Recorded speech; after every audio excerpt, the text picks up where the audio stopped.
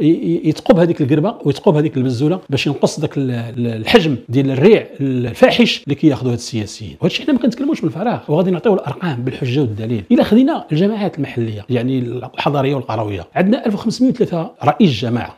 الهموم النواب ديالهم هاد 1503 رئيس النواب ديالهم تياخذوا في العام 155 مليون ديال الدرهم. أما رؤساء المجالس العملات والأقاليم اللي عندنا 75 رئيس تياخذوا في العام 48 مليون ديال الدرهم.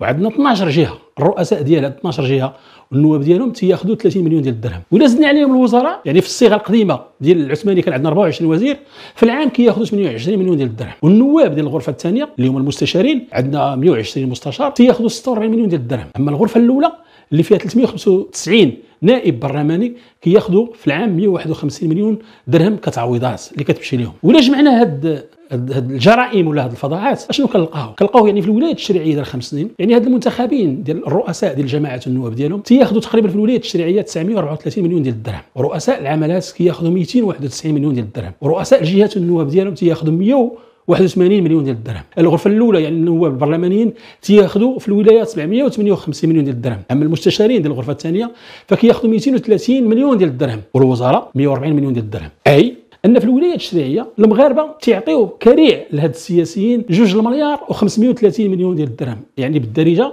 أو بالسنتيم عفوا 253 مليار ديال السنتيم. وهذا الشيء علاش قلنا بأن المغاربة أول قرار كيتسناو من عزيز اخنوشي ياخذوا هو أنه يتقوا بهذه القربة ويتقوا بهذه الرضاعة ويتقوا بهذه البزولة. إلا تقاب على جوج. يعني هبط هذوك التعويضات وهبط هذوك الامتيازات والغنائم التي ياخذونها بودن وجه حق. قسم على جوج. يعني في الولاية التشريعية غادي يربحوا 126 مليار. أما إذا أعاد عقارب الساعة إلى ما قبل عهد ال PJD يعني رجع التعويضات كما كانت قبل 2011 وهبطها بخمسة المرات فراه في الولاية التشريعية هاد السياسيين وهاد السلالة كلها راه الله غادي يأخذوا 50 مليار ديال السنتيم. وغنربحوا حنا كمغاربة غنربحوا 200 مليار. ديال السنتيم وتخيلوا معي يعني حجم الخصاص اللي كاين في المغرب ونحن نعيش ضائقة ديال كورونا اللي طردوا فيها العشرات ديال الألاف مساكن فقدوا المناصب ديال الشغل. والخدمات الاجتماعية لا أحتاج إلى أن أتكلم على الرداءه وعلى الكوارث اللي كاينين في السبيطارات واللي كاين في التعليم واللي كاين في الطرق واللي كاين في القرى في الجبال إلى إلى آخره. أضيف إلى ذلك أن هذا العمل السياسي هو أصلا عمل تطوعي حيث الإنسان أصلا ديجا عنده خدمة ديالو عنده مقاولة ديالو عنده راتب شهري أو رواتب متعددة.